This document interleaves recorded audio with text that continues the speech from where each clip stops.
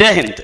बहुत सारे बच्चे अब इस समस्या में आ गए कि कैसे धीरे धीरे बाकी सारी एकेडमी वाले अपने से पीछा छुड़ा लिया इस आंदोलन का। अब कोई साथ नहीं दे रहा। आपने देखा होगा कि कोई भी एकेडमी वाला इसका विरोध नहीं कर रहा। चाहे कोई भी एकेडमी हो, हिंदुस्तान की किसी भी एकेडमी वाला इसका विरोध नहीं कर रहा। अब टीओडी का क्यों नहीं कर रहा? क्या इससे तकलीफ़ नहीं है? क्या रीजन है कि टीओडी में कोई भी छात्रों का साथ नहीं दे रहा? उसके पीछे रीजन क्या है?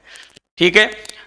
कौन मजबूर कर रहा है इनको कि ये आंदोलन में साथ ना दे? किस प्रकार की पाबंदियाँ? उसका कुछ खुलासा करने वाला हूँ मैं जितने भी बच्चे देख रहे हैं, उन सभी को बता दूँ कि क्यों मजबूर किया जा रहा है कि एकेडमी वाले किसी भी कंडीशन में छात्रों का साथ ना दे दे इसके लिए? और कौन मजबूर कर रहा है? किस प्रकार की पाबंदी आपने देखा होगा?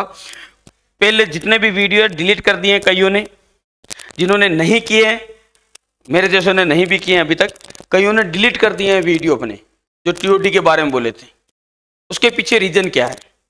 देखिए, मैं आपको बताता हूँ उसके पीछे रीजन क्या है। और मैं क्या, कोई भी आंदोलन में नहीं आएगा अकेडमी वाला नहीं, कोई नॉर्मल नागरिक भी आपके साथ में आंदोलन में नहीं आएगा, उसके पीछे रीजन ये है कि सभी ने, जितने भी अकेडमी में संचालक थे या जितने भी यूट्यूब पे, जितने भी ऑनलाइन अकेडमी जितनी ऑफलाइन अकेडमी सभी आपके सपोर्ट में आ रहे थे, उसी समय आपने उपद्रव और हिंसा की वो सीमा पार कर दी, जिसके कारण कोई भी अकेडमी वाला आपके साथ जुड़ना नहीं चाहता। उसके पीछे रीजन ये है कि आपने हिंसा उपद्रव ट्रेनों में आग लगाना, बसों को जलाना, यहाँ तक कि निजी वाहनों के, बहुत सारे मैंने ऐसे इंटरव्यू भी देख लिए हैं, जिनमें आपने निजी वाहनों के भी आग लगा दिए। अरे, किसी गरीब इंसान की गाड़ी जला के आपको नौकरी नहीं मिलने वाली, किसी ट्रेन को जला के आपको कुछ नहीं मिलने वाला, आपने इस लेवल पर मतलब कि कोई दंगाकारी जैसे देश के विरोध में प्रदर्शन होता, उस प्रकार का प्रदर्शन आपने किया है। तो इसमें इसीलिए सब पीछे हट गए सबने अपने वीडियो भी डिलीट कर लिए कि हम इनका साथ नहीं देंगे, हम किसी उपद्रव क्योंकि जितने भी अकेडमी संचालक है, चाहे कोई भी अकेडमी वाला है या कोई भी है इंसान, सबके लिए सबसे सर्वोपरि है राष्ट्र, और राष्ट्रवादी नीति रखते हैं सभी के सभी सभी के लिए देश सर्वोपरि है, उसके बाद में बाकी चीज़ें। तो जो हर एक इंसान मानता है, और स्पेशली आर्मी की तैयारी करने वाला, हर नौजवान आर्मी से प्यार करता है, और वो देश के लिए अगर उनको मौका मिले मर मिटने का तो उनको ना कोई पेमेंट चाहिए, ना कुछ और। लेकिन मर मिटेंगे इस देश के लिए। लेकिन रीजन ये है कि अकेडमी वालों ने कहा कि हम आपका साथ देंगे। किसी ने कोई डेट अनाउंस नहीं की, किसी ने कोई किसी धरना प्रदर्शन, किसी ने कोई शांतिपूर्ण आंदोलन की कोई डेट नहीं दी। सभी ने विरोध किया था कि हाँ ये हमको बहुत गलत लग रहा है। स्पेशली मैं तो अभी भी बोल रहा हूँ कि आर्मी का जो पेपर कैंसिल हुआ एयरपोर्ट का रिज़ल्ट कैंसिल हुआ, बिल्कुल गलत हुआ बच्चों के साथ। वो सरकार को इसकी जवाबदेही लेनी पड़ेगी कि इस प्रकार से नहीं कर सकते, वो इन बच्चों को इस प्रकार से नहीं छोड़ सकते, अधमझधार में समुद्र के बीच में इनको नहीं छोड़ सकते। भले इनको किसी न किसी प्रकार की प्रायोरिटी दे कम से कम इनके लिए इतना कर दे कि भाई अग्निवीर के तहत लेंगे हम, लेकिन जो बच्चे फ़िज़िकल और मेडिकल पास कर लिए, उनका सिर्फ़ हम पेपर ही लेंगे, उनको डायरेक्ट एंट्री देंगे। चाहे कुछ भी करे, लेकिन ऐसा होना चाहिए सरकार की तरफ़ से, भले अग्निवीर बनाए उनको, लेकिन बनाना चाहिए, उनको प्रायता देना चाहिए, क्योंकि पिछले दो साल से वो बच्चे पहले पड़ाव पास कर कर बैठे हैं। लेकिन किसी ने कुछ नहीं किया, उससे पहले आप लोगों ने इस प्रकार का प्रदर्शन कर दिया कि सबको पीछे हटना पड़ा। सब चाहते हैं कि कहीं ऐसा नहीं होगा, मेरा इसमें देशद्रोह का कोई आरोप लग जाए और मेरा नाम आ जाए।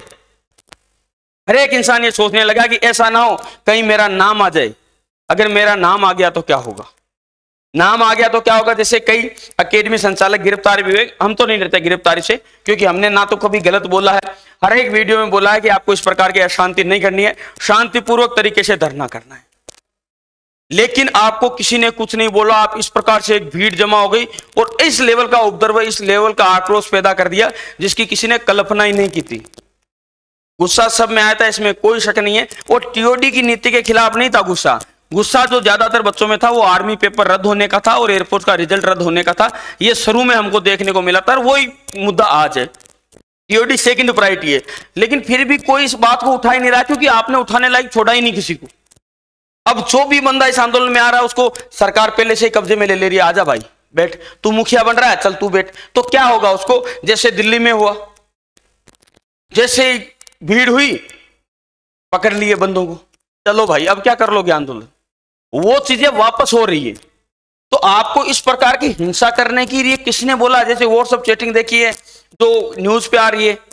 अगर वो सही है तो बहुत गलत है। किसने आपको बोला कि थाना फूंक दो? किसने आपको बोला पुलिस वाला मार दो? किसने ये बोला कि उसके डंडे मार दो? अरे, वर्दीधारी है वो। चाहे कांस्टेबल हो, चाहे कुछ भी हो, चाहे एसपी हो, वो वर्दीधारी है, उसके ऊपर हाथ उठाना। एक देश के, ये मान के चलिए, देशभक्ति से खिलवाड़ है। इस प्रकार की राय आपको किसने दी?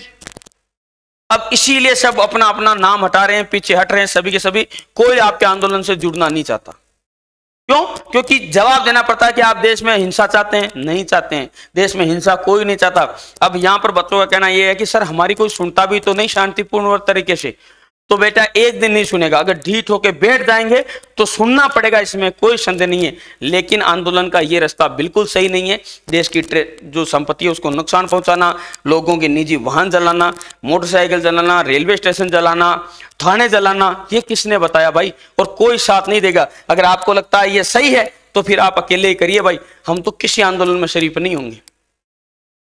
जैसे हमको पता चला, मैं एक भी कहीं पे भी अकेडमी छोड़ के बाहर नहीं गया। क्यों नहीं गया? क्योंकि कौन सुन रहा है हमारी? कोई जब सुन ही नहीं रहा तो हम काहे के लीडर? और इसीलिए हमने कोई लीडरता नहीं की। क्योंकि सुनती नहीं है भीड़। तो कौन क्यों आएगा तुम्हारे लिए? क्यों आएगा मरने के लिए? आप उसको बेचारे को डला दोगे जेल के अंदर।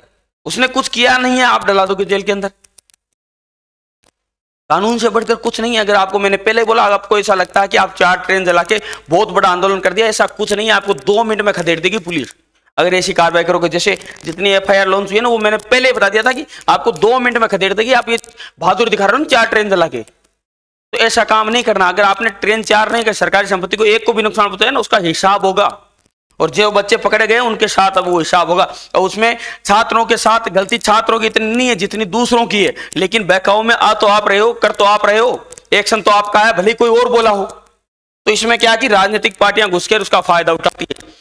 इसीलिए सभी जितने भी अकेडमी ऑनलाइन थी यूट्यूबर्स थे, सभी ने अपना हाथ हटा लिया साइड में कि नहीं, ये देश के विरुद्ध जा रहे हैं, हम इसमें इनके साथ नहीं बाकी अगर आप उनसे ये बोलो कि सर, आर्मी का पेपर होना चाहिए, इसमें आप हमारा साथ दो, हंड्रेड परसेंट साथ देगा हर एक इंसान आपका। यह एयरफोर्स रिज़ल्ट आना चाहिए, इसमें आप हमारा साथ दो और हम यहाँ धरने पर बैठ रहे हैं, आपको यहाँ आना होगा तो वो आएँगे, हर इंसान आएगा। लेकिन आप शांतिपूर्ण तरीके से करोगे तो। इस प्रकार की हुदंग हिंसा करोगे तो कोई साथ नहीं आएगा भाई। बात समझ में आई? जय हिंद, जय भारत।